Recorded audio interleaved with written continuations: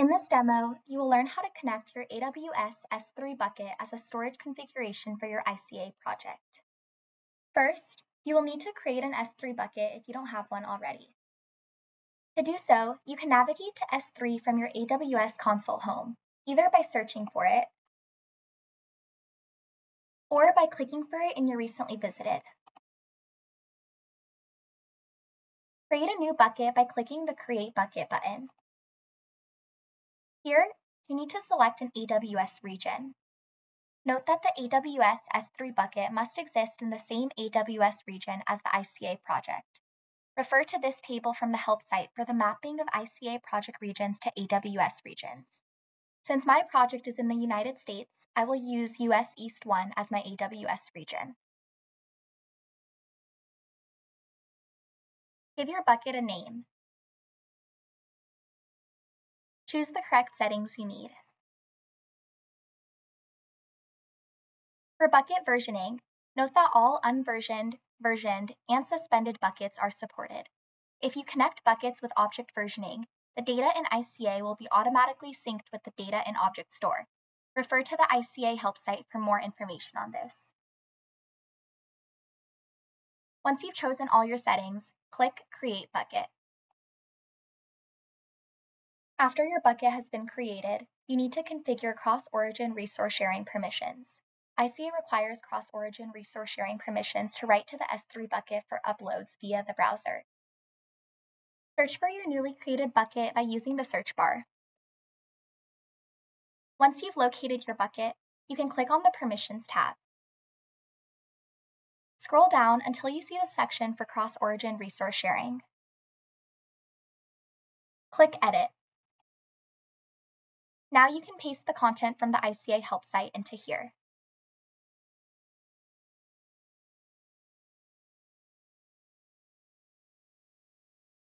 Click Save. Next, ICA requires specific permissions to access data in an AWS S3 bucket.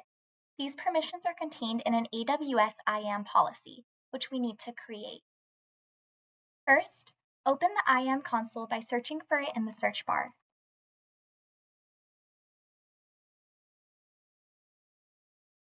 In the navigation pane on the left, choose Policies. Select Create Policy. In the Policy Editor section, choose the JSON option.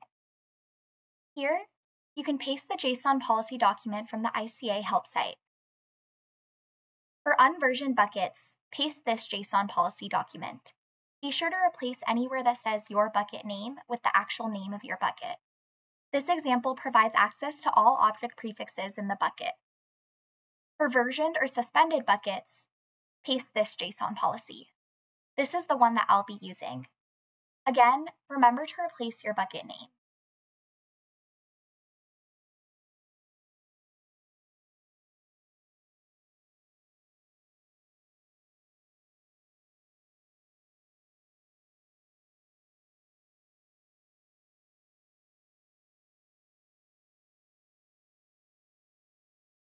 Click Next when you're ready. Give your policy a name and an optional description. Here, you can see the permissions defined in this policy. You can also add optional tags. Note that this can also be done via the AWS CLI. Refer to the help site for directions on using the CLI to create an IAM policy. When you're ready, select Create Policy. Next, we will create an AWS IAM user. An AWS IAM user is needed to create an access key for ICA to connect to the AWS S3 bucket. The policy will be attached to the IAM user to grant the user the necessary permissions. Select the IAM service by searching for it in the search bar. In the navigation pane, select Users. Then select Create User. Enter the name for the new user. This is their sign-in name for AWS. Select Provide User Access to the AWS Management Console. This produces AWS Management Console sign-in credentials for the new user. For console password, you can use an auto-generated password or create a custom password. Select Next. For the permissions, select Attach Policies directly. Now you can choose the policy you created earlier. Select Next. Once you've reviewed the user details, click Create User. Make sure to get the password assigned to the user.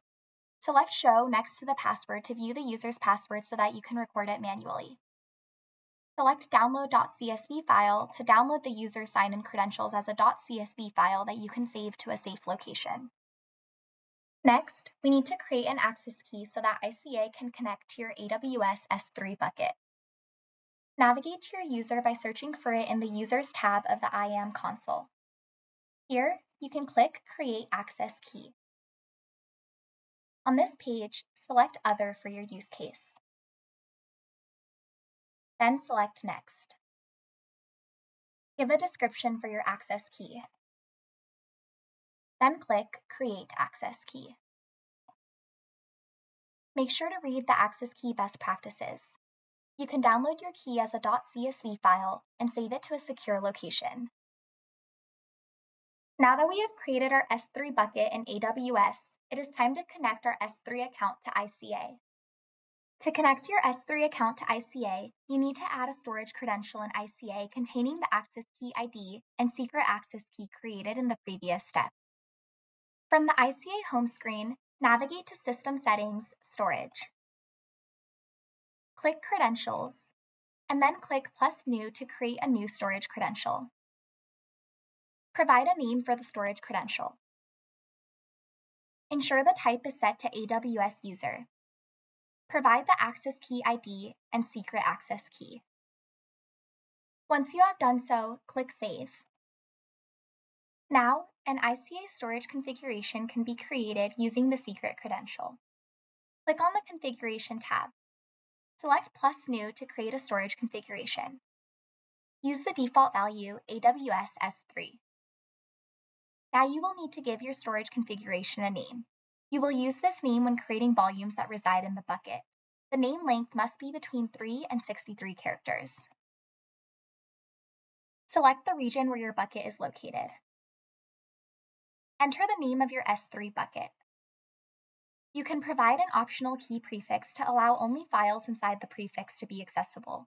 The key prefix must end with a backslash. If not provided, the entire bucket is accessible. You will need to use subfolders of this bucket in ICA projects to prevent locking issues. For secret, select the credential to associate with this volume configuration. Now you can click Save. Give some time for the storage configuration to load. Hit refresh periodically to check the status. After some time, a green checkmark will appear to indicate that the storage configuration has been added. Now, you can create a new project using the storage configuration as your data provider. To do so, go back to the Projects tab and click Plus New Project. Give your project a name, Make sure to select I want to manage my own storage and choose the storage configuration you just created. You can choose to sync the files from the root of your storage configuration or specify a folder in your storage configuration that you would like to sync to. Note that if you choose to sync to the root of your storage configuration, you will not be able to use that storage configuration for any other projects. When you're ready, click Save. Now you'll see this new project we created has an AWS logo in the corner. This indicates that you have connected your own S3 bucket to the project. Now, when we run an analysis, we'll see that our outputs will be in the S3 bucket. First, let's enter our project. In the Data tab, we see that we currently have no data. Let's add some files that we can use in our analysis. With a storage configuration set, a project will have a two-way sync with the external cloud storage provider. So any data added directly to the external storage will be synced into the ICA project data, and any data added to the project will be synced into the external cloud storage. This means we can either add data into our S3 bucket or add data into our ICA project. Let's start by adding a FASTA file into our S3 bucket. Click Upload to add a file. Click Add Files to choose a file from your File Explorer. Now I'll select this FASTA file. Click Upload. As you can see, the upload succeeded. This file is currently present in our bucket.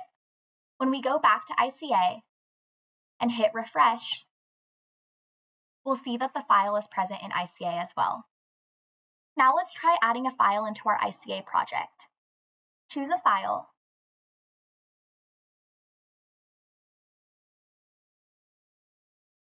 And see that the file is present. When we go back to our S3 bucket, and hit refresh, you'll see that the file is present here as well. Now, let's run a basic Nextflow pipeline. Here is one that I've already created based off of the Nextflow tutorial in the help site.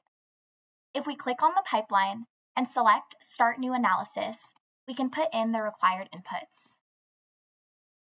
Select the FASTA file we just uploaded as an input. Now we can click Start Analysis. In the Analyses tab, you'll see that our analysis has been requested. After some time, our analysis has succeeded. Now we can look for the analysis outputs in the Data tab of ICA. You'll see that a folder has been created here with our analysis outputs. Similarly, we can find our outputs in our S3 bucket. When we hit refresh, we'll see that the outputs are here. If you want to copy objects from a bucket in an AWS account to another bucket in another AWS account, you will need to enable cross-account copy. ICA uses assume role to copy objects across AWS accounts. To allow cross-account access to a bucket, the following policy statement must be added in the bucket policy. Refer to the ICA help site for more information. Because of how Amazon S3 handles folders and does not send events for S3 folders, the following restrictions must be taken into account for ICA project data stored in S3. First, when creating an empty folder in S3, it will not be visible in ICA. Files need to be added to the folder for it to be made visible. Next, when moving folders in S3, the original but empty folder will remain visible in ICA and must be manually deleted there. Similarly, when deleting a folder and its contents in S3, the empty folder will remain visible in ICA and must be manually deleted there. Additionally, projects cannot be created with a dot backslash as prefix, since S3 does not allow uploading files with this key prefix. Finally, as a reminder, when configuring a new project in ICA to use a pre-configured S3 bucket, you can use the root folder like I did. However, this is not recommended, as that S3 bucket is then no longer available for other ICA projects. Instead, please consider using subfolders in S3 for your projects. Thank you for listening. For more information, please visit the ICA help site at help.ica.illumina.com.